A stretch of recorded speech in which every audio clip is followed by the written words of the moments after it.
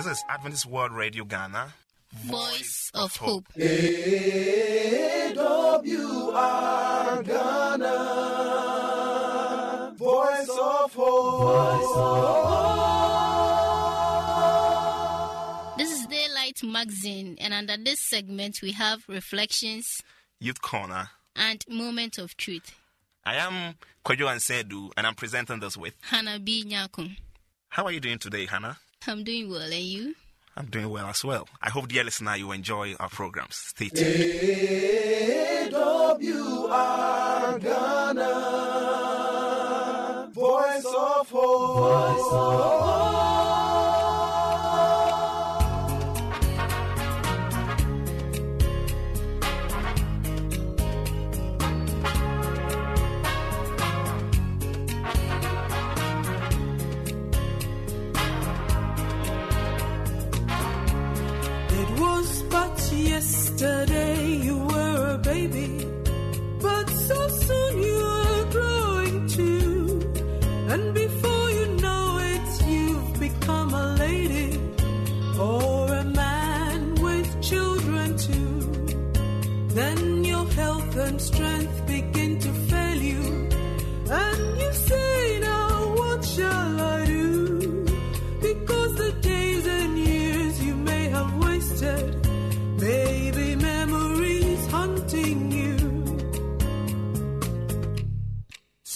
see, my brother, that life is so short.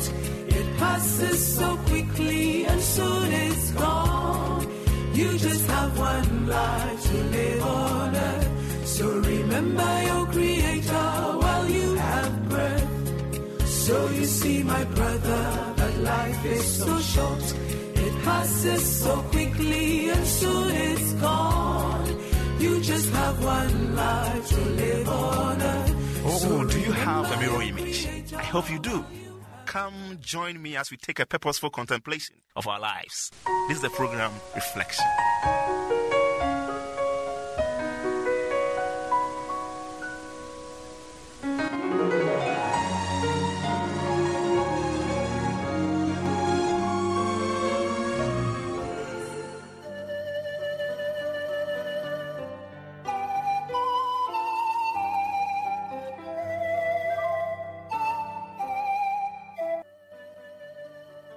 I welcome you, my cherished listener. Once again, I want to talk about vindicators of God's law. James chapter 1 verse 25. I read, But those who look into the perfect law, the law of liberty, and preserve, be not hearers who forget, but doers who act, they will be blessed in their doings. Does it make a nation happy to put away the laws of God? The countries here in Europe have their laws, and the safety of the inhabitants of this country is due to their obedience to these laws. And you know how strictly they require that these laws shall be observed. You see an officer by the side of the road who wears shackles upon his head and feet, and you know that that man has transgressed the law of the land. He forfeited his liberty and was put in prison because he transgressed the laws of the country. And shall anybody advocate that the Lord of the universe has no law to govern his kingdom? Is it the doctrine of Jesus Christ or of heaven that the law of God has no binding claims upon the world's inhabitants? Why the law of Ten Commandments is the great moral standard of righteousness in heaven and upon earth. This great law is the foundation of all laws to all nations and to all families. What a piece of workmanship of the devil is to say that the law of God is done away and is no more binding upon the human race. We know that the murderer, the adulterer, and the thief get in trouble with this law at once. They are the ones that would like to have this law swept away so they could have their free license to all their imaginations and wickedness. We do not think as we see a man attended by an officer of justice that he has been keeping the law, but that he has been transgressing it. Every soul of us living upon the face of the earth must have our tests and trials. Circumstances will occur in the providence of God when we will be called to vindicate our faith. We shall give decided evidence which side we are on. We shall either be decided the vindicators of God's holy law or on the side of the transgressors. We shall be tested as Noah was tested, because the corruption was nearly universal in his age. Did he then argue that it would not pay for him to stand separate and alone for God's law? He took his position as God's nobleman on the side of the right because it was right.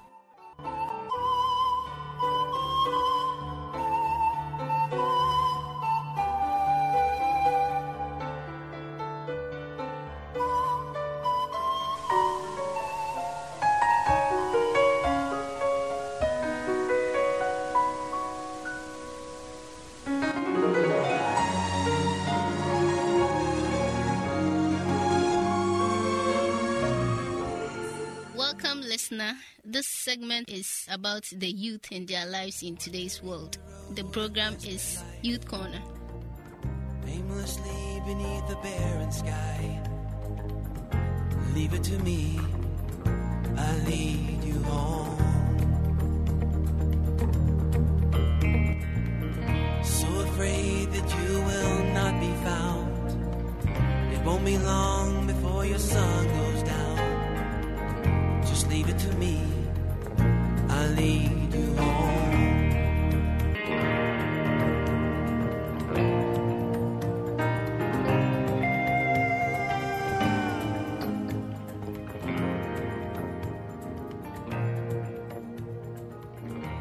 My dear friend, thank you for joining us again, making time with us on the Youth Corner.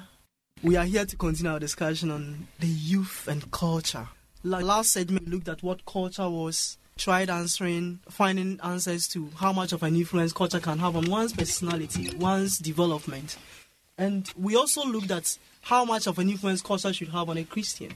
To continue with our, our discussion, we'll try answering the question how does a Christian youth deal with a culture that is contrary to his or her faith? And then how a Christian youth can influence culture values in his or her vicinity. I'm privileged to have with me here people who are well versed in various aspects of life to help us in our discussion. I'll let them introduce themselves. Kodran Sedu, teaching assistant, Valley View University. Matilda Tete, teaching assistant, University of Ghana. Ansajakum, Valley View University lecturer. Jemima Sari, student of Valley View University.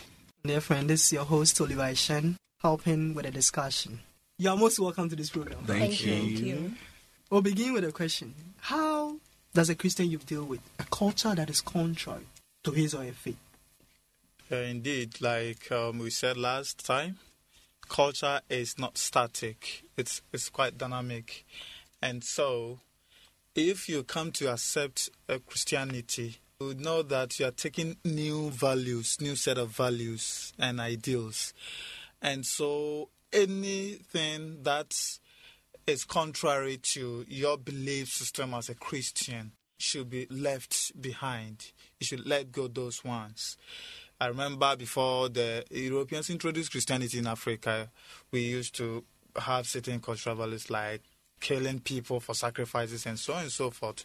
Indeed, as society embraced Christianity, all those things just were left behind. And so we're trying to say that cultural practices that are inimical to what the Bible say or the precepts of Christianity should be left behind. So, how do you deal with it? Because it is something that a chunk of society actually embraces and sees as normal. You coming from a different background because of your faith, how do you deal with it so that you don't offend them? In the same way, you don't compromise on your faith as well. Indeed, it's not going to be easy. It's not going to be easy. You miss all kind of oppositions, you know. But it depends on how you, the Christian, behaves. Remember when Christianity began, the way and manner they behaved, the early Christians, gave the opportunity for society to say that indeed you are a follower of Christ, hence the name Christian. So if indeed you're not too proud, and so you don't just throw your weight about because you're a Christian and so you insult everybody, your parents, then you're going to have serious problem. But indeed, if in humility you let them know why this is good and why you think this is not good, I think they will embrace it eventually. Yeah, Matilda. I think, as it has already been said, if the value does not conform to what you believe in, then you have to neglect it. But then you need to be careful how you handle it, as we have been saying. If you realize the value system, it's not totally bad and it probably has something to offer, but the way they do it does not conform to what we believe. And I think the best way is to dialogue with the people who are upholding the culture. For instance, I am a Krobo, and then for the Krobos in a Ghanaian setting, they practice what they call a uh, Dipo rite. It's a puberty rite that ushers adolescents into adulthood. And during the rite, they perform libation, all that kind of thing. That is what's- have you gone through that, right? Not yet. Uh, I don't okay. think I would go through. and you would go through some traditional rites that do not conform to what Christians believe in. So in that case, I think the best way is to dialogue, tell the people, well, the Poe rites or puberty rites, the main idea was to teach the people how to handle marriage if you go into marriage, how to behave yourself and all that. If I'm a Christian, I'm being taught that. So it's not that I'm neglecting what you are being taught. I'm learning it in a different way. I think if you dialogue, they will understand you better than trying to brush them off. Have you dialogued already with them, with your parents and your? Well, in my case, I'm kind of fortunate because my parents are also Christians. So my parents do understand and they've told the people that this is what we believe in. And and so you wouldn't succumb to it. How, how did your parents go about it so that they were not offended? Because I think there's a practical example that can help. I think in either ways they will be offended because you are not conforming to what they believe in. So definitely they'll be offended because you are going to the left and they are going to the right. In their sense, they'll be offended. But the way you do it shows that you are not kind of neglecting them. You are still with them. Or even insulting Yes, you are not insulting them. They would understand you, but they would like that you would do what they want.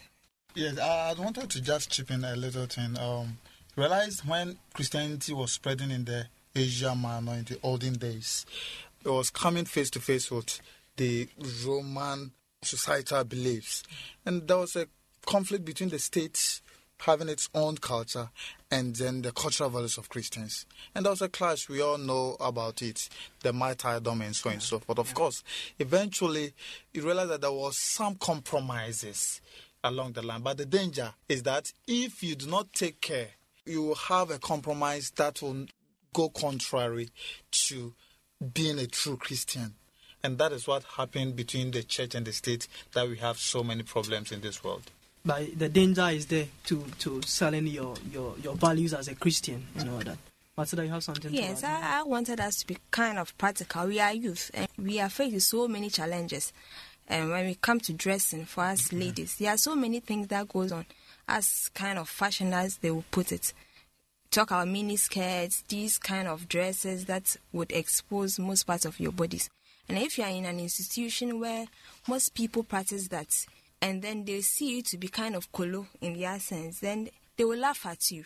And definitely you will be forced to compromise. But then if you know the value in which you are upholding and know why you are upholding those values, then you can explain to them. Even if they laugh at you, I think you don't have to mind them.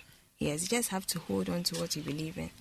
I, I want us to go forward in our discussion. We also talked about the fact that culture is dynamic. How then can we as Christians help in influencing culture positively? Matilda just talked about the fact that dressing and all that. I was trying to um, just have a follow up that we have our own culture as far as dressing is concerned, which might, as Africans, which might not be in contrary to Christian beliefs. But then taking the westernized kind of culture, the minister she talks about, that's what I was checking. So that might be another realm altogether. So the, the, even the point is that taking our own culture Exactly. as Africans and Ghanaians, Exactly. they are not to a large extent contrary to I mean, in terms of dressing and so not on and so contrary forth, to exactly. biblical Yeah. uh, uh, ideals on Yeah. dressing and all that. Dear listener, we thank you so much for joining us. We are grateful that you make time to join us on this very important program, the Youth Corner. We have been discussing the youth and culture. And this is our last but one uh, episode on this very topic. Helping me in the discussion have been Kodran Sedu. Matilda Tete. Francis Ejekum. And my Masari. This has been your host, Oliver Shen. Join us next time. Thank you.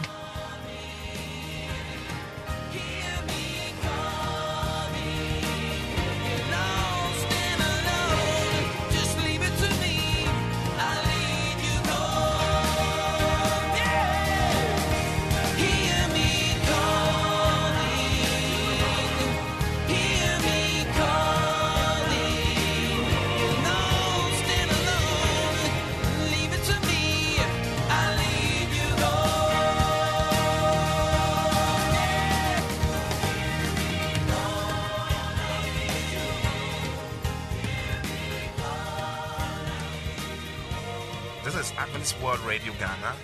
Voice of Hope. AWR, voice of hope. We will bring you joy. Keep hope alive. AWR, the voice of hope. You can contact us on Adventist World Radio Ghana, Valley View University, P.O. Box AF 595, Adenta, Accra, Ghana, West Africa. Or if you have access to the internet, send us an email through radio at vvu.edu.gh. Or better still, you can call us on 030 7051 058.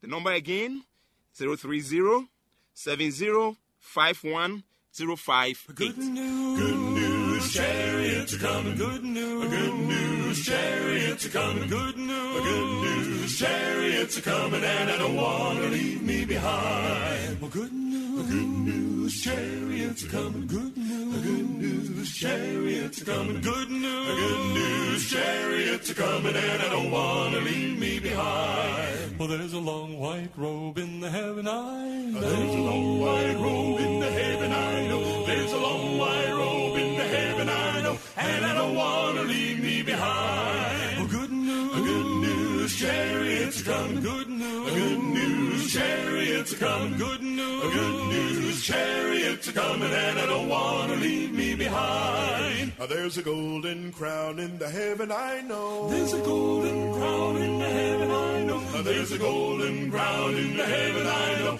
and I don't want to leave me behind. A good news, a good news, chariots are coming. Sweet news, sweet news, chariots are coming. Good news, good news, chariots are coming, and I don't want to leave me behind. There's a starry crown in the heaven high. There's a starry Cherished listener, this is the moment of truth, where truth is presented with precision and exactness. Enjoy this encounter of a lifetime.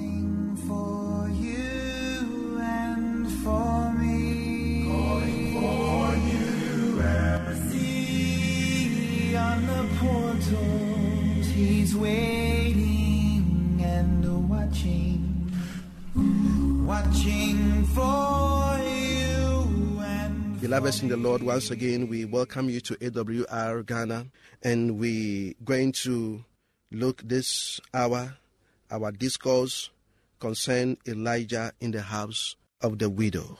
And we're picking our discourse from 1 Kings chapter 17, verse 17 to 24.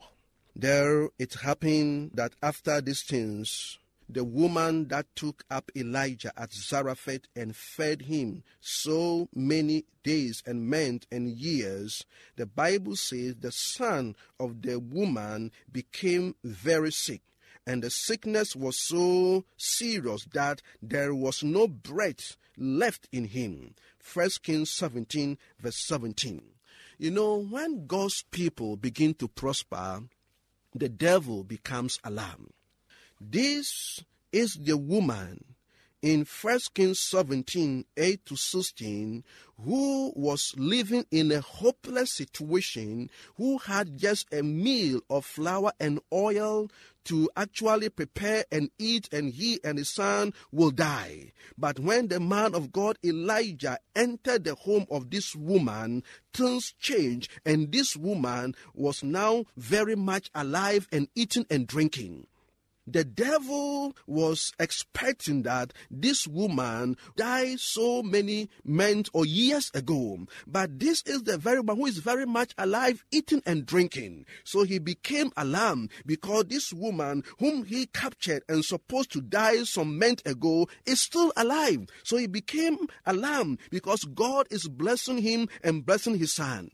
Beloveds, as a Christian, as a child of God, seek not repose when things are going on well in your life. When you are flourishing at the peak of your life, don't forget to pray. When things are in control in your life, don't forget God. when things, when you are on the top of your life and things are going on well and you are prospering, don't forget to pray because the devil becomes very much alarmed when God's people are prospering. So when the devil saw that the woman who is supposed to die so many years ago is still alive, he brought sickness of death upon the woman. And in the press of time, this woman died the enemy of our souls killed him. And when this happened, this woman, the widow, took his dead son and carried him to the upper room where Elijah was staying and laid him on the bed of Elijah. And he cried to the Lord and said, O Lord, and when Elijah saw what has happened, Elijah cried unto the Lord and said, O Lord, have you also brought tragedy on the widow with whom I lodge by killing her son? God, why did you allow this woman who have been helping me, sustaining me all this while? Why should you allow the devil to penetrate into his domain and kill his son? Elijah began to question God. Beloveds in the Lord, sometimes we all question God and ask God why. But in as much as sometimes we ask God of things that we do not understand why they do happen, we must not lose faith we must still keep on trusting God. Elijah was a courageous and fearless prophet of God, a one who brought revival, repentance, and restoration of primitive godliness in the land of Israel. So the devil also came in to test his pulse to kill the son of this widow. So when Elijah saw this challenge as a man of God, he turned back to his God. And the Bible says he stretched out himself three times and cried out unto the Lord and said, O Lord my God, I pray, let this child's soul come back to him. In times of crisis, beloveds, our only hope is in Christ Jesus.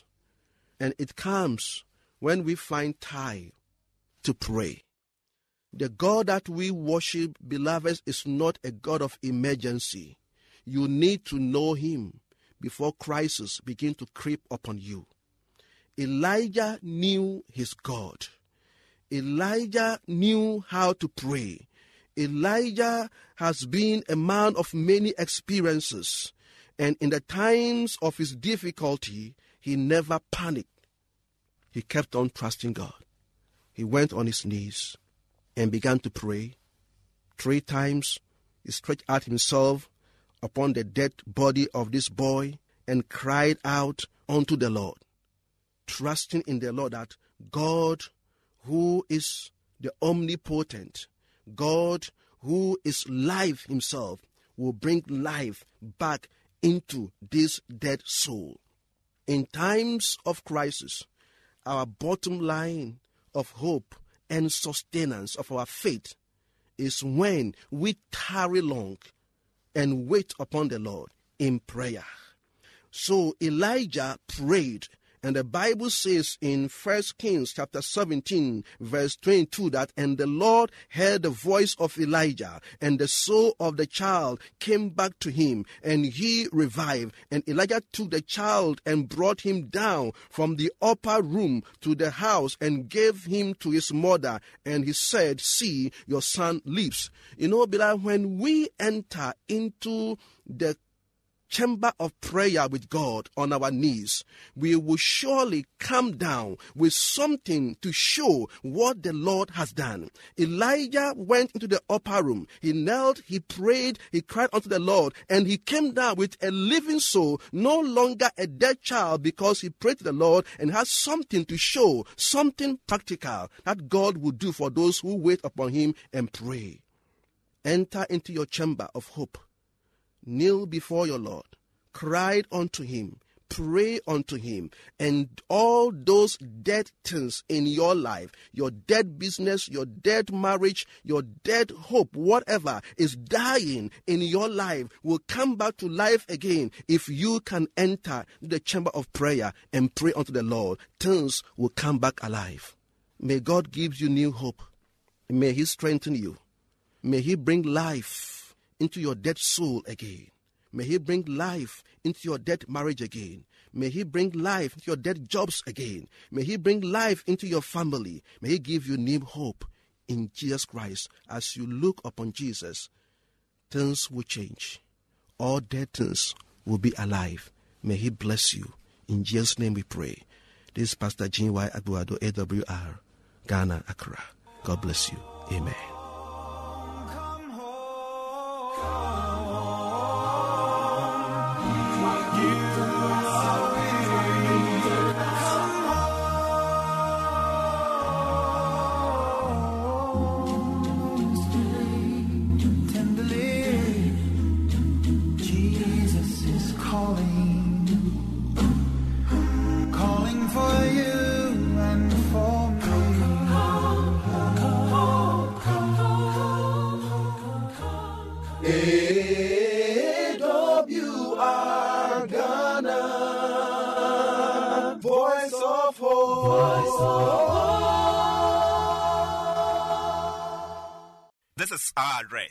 Adventist World Radio Ghana, Valley View University, P.O. Box AF 595, Adenta, Accra, Ghana, West Africa. Or if you have access to the internet, send us an email through radio at vvu.edu.gh. Or better still, you can call us on 030 7051 058. The number again 030 7051 058. I am blessed being a part of this program. Hannah, what about you? The same here. So I believe, listener, you did too. This has been once again Kwejo and Sedu. And Hannah B. Nyako. God bless you.